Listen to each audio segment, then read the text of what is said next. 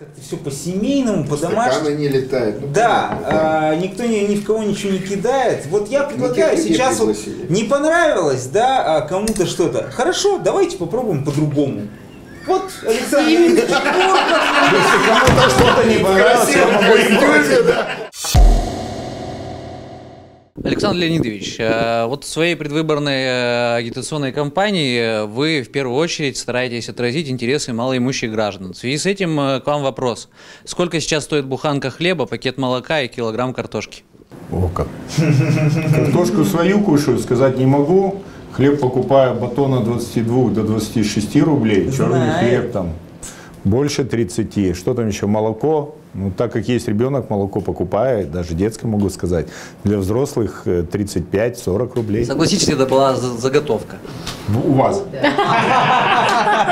Прогиб защита. Не-не, ориентируются, ориентируются в ценах. Да, абсолютно верно. Э, что, кого еще интересует? Может, там дорогие автомобили? Цены на не знаю, там э, собственность за границей. Раз уж у меня микрофон периодически появляется, корреспондент Нового региона Филиппович Александра, давайте с вами посчитаем оплату коммунальных услуг, раз уж вы делаете упор именно на ЖКХ. Да. Вот смотрите, я как мать троих детей стараюсь со всей бдительностью следить за цифрами. И в данном случае по городу в августе идет снижение в два раза оплат за ЖКХ, оплаты. Снижение Но- или повышение? снижение. То есть в данном случае я должна со всей силы бежать и голосовать именно за этого человека. Потому что в марте месяце именно в эти же самые два раза некоторые УК по городу поднимали оплату. Не складывается ли у вас впечатление, а мы послушаем ваши комментарии, что это пиар-ход, и УК могли находиться в некотором сговоре с господином Бурковым и таким образом добавить баллов от наивных нас Я, вопрос такой, Бурков всех обманул или нет, Или мог ли быть да? господин Бурков в сговоре с некоторыми УК города Екатеринбурга для того, чтобы заранее, до начала агиткампании, они повысили именно на то количество, э, ну, рублей, так скажем, на которое сейчас снизили? Какую зарплату Вот платит? Какую зарплату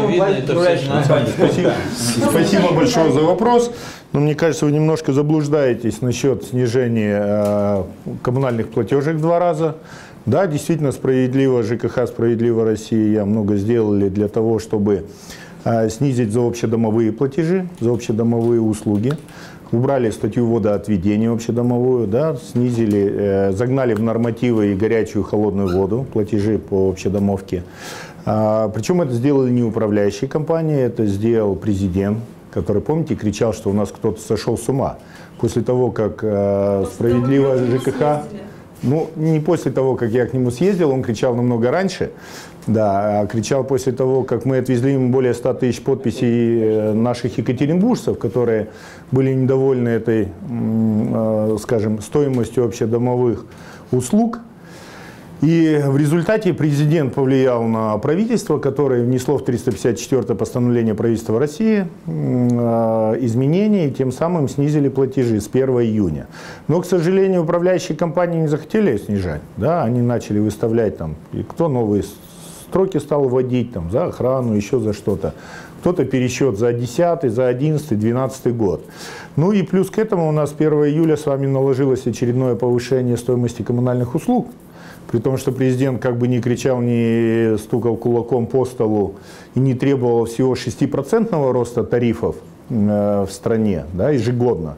Он ограни- как бы, ну, логически он сделал правильно с точки зрения экономики. Он сказал, тарифы не должны расти больше, чем инфляция. Поэтому 6% и баст. Были заявления вот, как бы, руководителя страны. Ну, к сожалению, местные власти и губернаторы, и мэрия, они этого не послушались и повысили тарифы нам в среднем там, 15%, от 12 до 19. Вот и считайте. А а то, что касается сговора, ну, это, как сказать, элементы черного пиара. Более того, сегодня, к сожалению, Яков Петровича нет Силина, да, представителя «Единой России». Он почему-то как раз заботится об управляющих компаниях и как раз пишет прокуратуру на действия справедливого ЖКХ и домовых советов. Ему не нравится э, наш подход. На самом деле, к одной вещи – знать правду и требуется управляющих компаний жить по закону. Вот. Поэтому тут, наверное, в сговоре быстрее всего мы видим, кто, да, партия власти.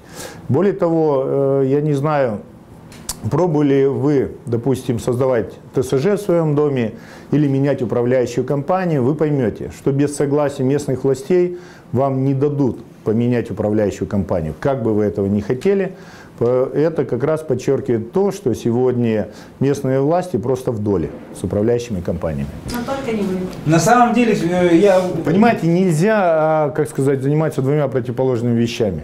Вы можете заниматься или бизнесом, или отстаивать интересы тех, э, кому предоставляет этот бизнес услуги. На самом деле э, Александр Бурков, как опытный политик, немного слукавил. Я-то знаю, почему он занимается проблемами ЖКХ.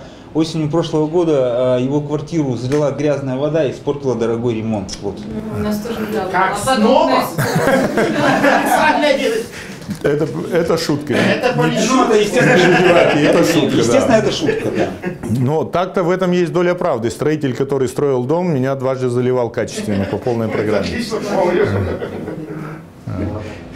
Э, Игорь Олегович? Александр Леонидович, вопрос такого рода. Вот насколько для вас существенно, ну, опять же, вопрос очень технологичный, а мнение вашей экспертной команды, вы действительно, вы всегда в теме, то есть мне нравится, вы всегда свободно и уверенно оперируете цифрами, как юрист скажу, хорошо, очень хорошо владеете нормативным материалом. Вот насколько для вас важно, когда вы выдаете мнение, как политик, как э, мыслитель, э, по той или иной проблеме, мнение вашей команды или все-таки ваше мнение является конечным? Вопрос технологичный, об оценке, как вы его вырабатываете в итоге? Ну, вырабатывается очень просто. Оно вырабатывается делом. Да, и в большей степени даже эта оценка формируется не моей командой, она формируется народом. И то, что сегодня справедливо Россия, я как кандидат в мэры предлагает а, революционное преобразование в системе управления городом Екатеринбурга, это не мое желание, да, не моя идея, это вообще идея и стремление людей. Да, мы сегодня говорим, всю власть нужно передать советам, советам многоквартирных домов. То есть в чем суть? В том, что люди, которые э, как бы не хотят смириться с тем беспределом, там, во всех сферах, в сфере ЖКХ, в сфере дорожного строительства, э, в сфере жилищного строительства, да, которые сегодня не согласны э, с уровнем жизни в городе Екатеринбурге, с комфортом, с качеством этой жизни, при том, что у нас самый дорогой город. Вы согласны? Абсолютно. Да, это и продукты питания, это и стоимость Абсолютно квадратного дорогой. метра жилья и многое другое. В том числе, кстати, Александра, э, стоимость коммунальных платежей намного выше, чем у соседей, и в том числе общественный транспорт. Люди, которые этим недовольны, они как раз и объединяются. Мы выступили только инициаторами. Я, там, Андрей Жуковский, мои коллеги, там, Александр Караваев, Дмитрий Ионин.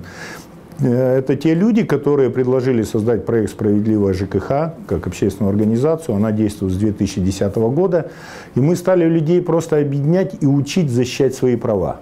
А в дальнейшем люди, которые самые активные жители э, того или иного дома, войдя в совет, начиная сегодня решать проблемы ЖКХ, дальше они вынуждены были решать проблемы в вопросах благоустройства, в вопросах озеленения, в вопросах там, застройки. Да? Они пришли к тому, что действительно сегодня житель города Екатеринбурга, он ну, простой человек, он не участвует в управлении городом.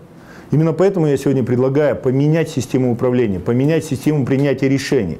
Вот те домовые советы, которые сегодня созданы и, бу- со- созданы, и будут еще создаваться, новые, они должны принимать решения действительно в жизни города.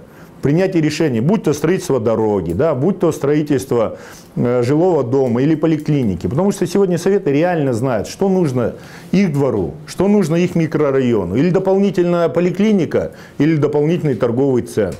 Поэтому то, что сегодня мы предлагаем, мы предлагаем, что просит народ.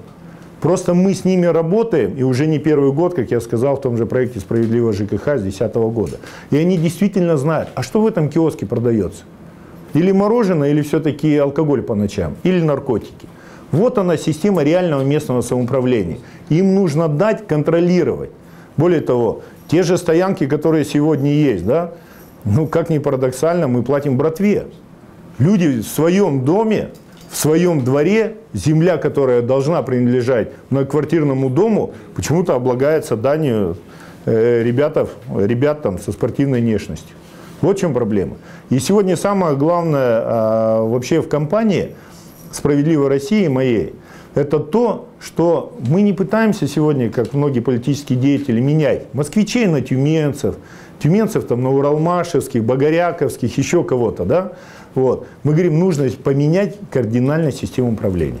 И то, что э, папа Анастасии э, так пессимистичен сегодня, да, ну, мне кажется, он немножко лукавит, любя свою дочь.